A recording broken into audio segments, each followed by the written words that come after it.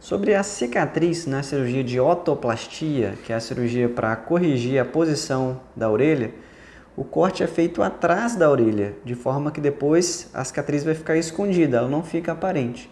Então a orelha é colocada numa posição mais pertinho, mais próxima da cabeça e uma cicatriz fica imperceptível porque fica escondida atrás da orelha.